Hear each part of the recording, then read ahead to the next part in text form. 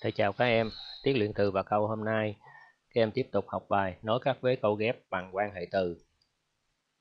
Ở bài này thầy sẽ tổ chức cho các em học qua hai hoạt động. Hoạt động thứ nhất, hình thành kiến thức. Hoạt động thứ hai là luyện tập. Bây giờ chúng ta tiếp thứ nhất, hình thành kiến thức. Các em mở sách giáo khoa và đọc phần nhận xét một cho thầy. một Tìm câu ghép trong hai đoạn văn sau và cho biết các vế câu được nối với nhau bằng những từ ngữ nào. Bốn mùa Hạ Long mang trên mình một màu xanh đầm thẫm, xanh biếc của biển, xanh lam của núi, xanh lục của trời. Màu xanh ấy như trường cũ, lúc nào cũng bát ngát, cũng trẻ trung, cũng phơi phới.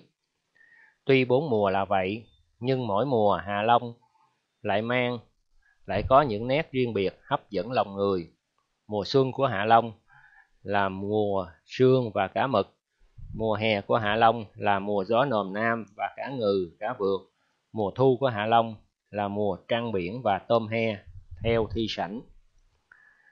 Thì ở phần nhận xét một này các em phải thực hiện qua hai yêu cầu. Yêu cầu thứ nhất là tìm câu ghép có trong đoạn văn sau. Và yêu cầu thứ hai là cho biết các vế câu được nối với nhau bằng từ ngữ nào. Thì mời các em cùng làm bài vào vở.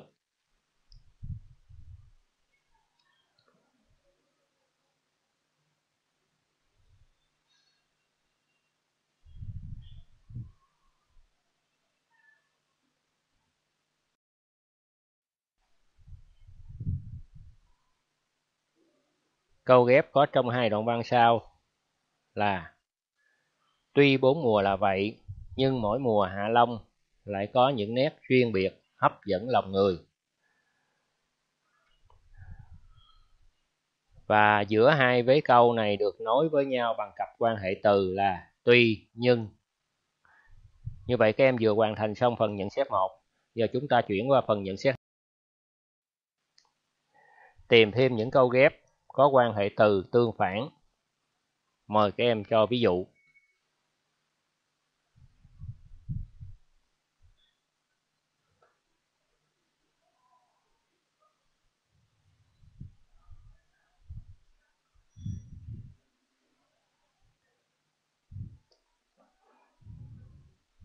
Thầy có một số ví dụ sau đây, em cùng tham khảo. Câu A.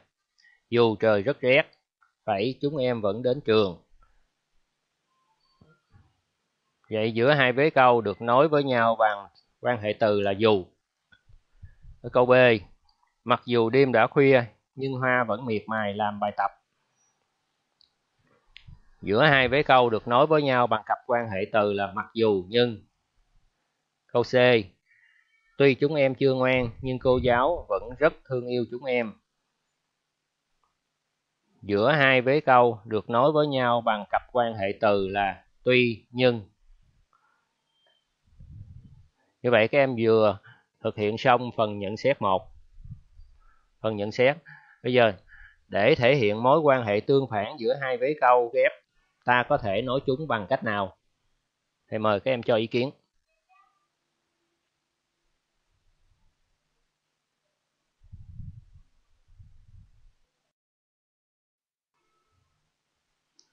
Để thể hiện mối quan hệ tương phản giữa hai vế câu ghép, ta có thể nói chúng bằng một quan hệ từ. Tuy tuy dù mặc dù nhưng hoặc một cặp quan hệ từ. Tuy nhưng mặc dù nhưng dù nhưng. Thì đây chính là phần ghi nhớ của bài học hôm nay. Thì mời các em đọc lại ghi nhớ ghi nhớ để thể hiện mối quan hệ tương phản giữa hai vế câu ghép, ta có thể nói chúng bằng một quan hệ từ tuy, dù, mặc dù, nhưng hoặc một cặp quan hệ từ tuy nhưng, mặc dù, nhưng, dù, nhưng. Như vậy là các em vừa hoàn thành xong hoạt động thứ nhất là hình thành kiến thức. Bây giờ chúng ta chuyển qua hoạt động thứ hai là luyện tập. Các em đi vào bài tập thứ nhất. Mời em đọc bài. Một Phân tích cấu tạo của, của các câu ghép sau.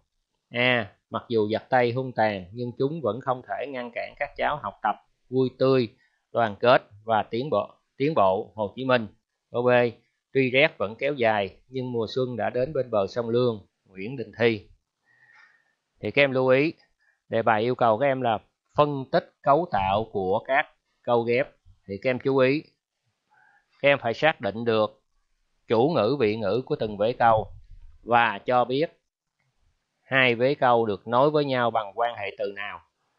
Mời các em cùng làm bài vào phiếu.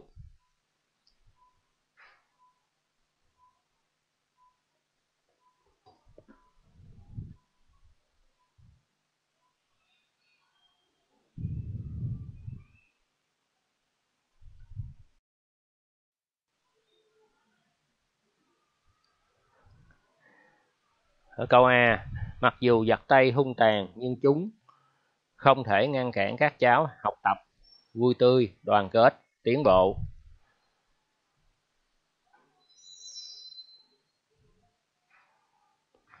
Vế một là giặt tay hung tàn, chủ ngữ là giặt tay, vị ngữ là hung tàn.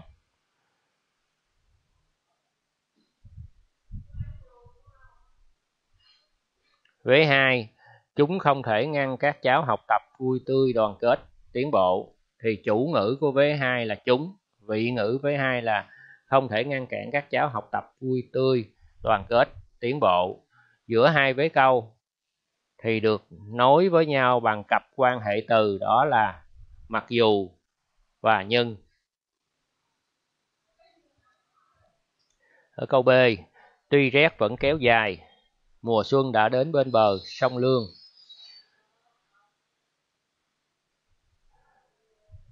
Thì vế một là rét vẫn kéo dài, chủ ngữ là rét, vị ngữ là vẫn kéo dài.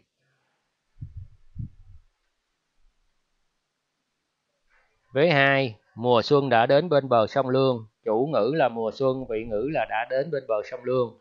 Và giữa hai vế câu được nối với nhau bằng quan hệ từ là tuy.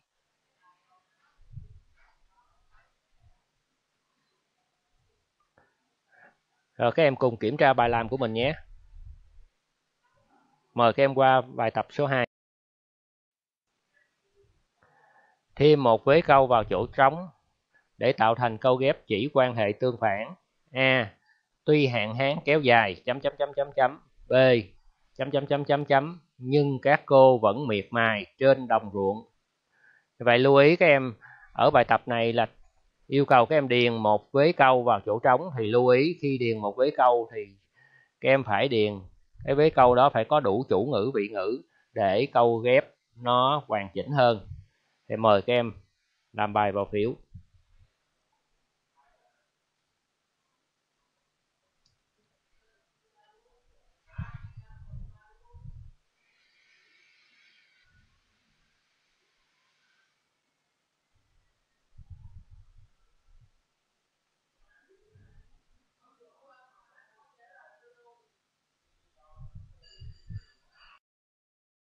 Ở đây là thầy có vài ví dụ à, đáp án các em cùng tham khảo. Câu A.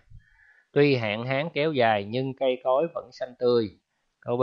Mặc dù trời đã sẫm tối nhưng các cô vẫn miệt mài trên đồng ruộng.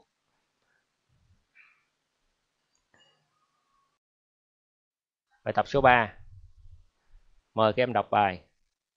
Tìm chủ ngữ vị ngữ của mỗi vế câu ghép trong mẫu chuyện vui sao. Chủ ngữ ở đâu? Cô giáo viết lên bảng một câu ghép. Mặc dù tên cướp rất hung hăng, gian xảo, nhưng cuối cùng hắn vẫn phải đưa tay, đưa hai tay vào còng số 8. Rồi cô hỏi, em nào cho cô biết chủ ngữ của câu trên ở đâu? Hùng nhanh nhẩu. Thưa cô, chủ ngữ đang ở trong nhà gia mạ. Theo Phạm Hải Lê Châu. Thì ở bài tập này các em chú ý, bài yêu cầu các em là tìm chủ ngữ, vị ngữ của mỗi vế câu, của mỗi vế câu ghép Mời các em cùng suy nghĩ và làm bài.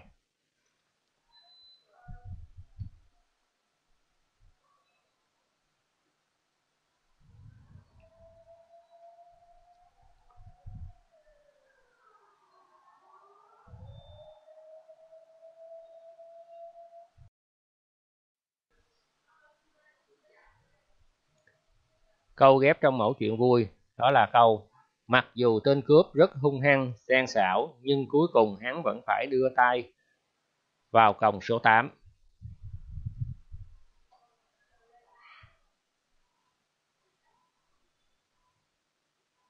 thì vế một là tên cướp rất hung hăng gian xảo, chủ ngữ là tên cướp, vị ngữ là rất hung hăng gian xảo.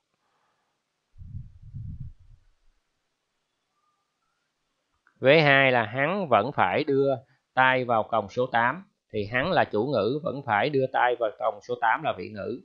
Và giữa hai vế câu được nối với nhau bằng cặp quan hệ từ là mặc dù, nhưng.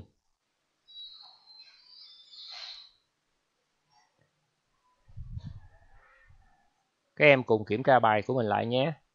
Và tiết học đến đây là hết. Thầy chào các em và hẹn gặp lại trong tiết học sau.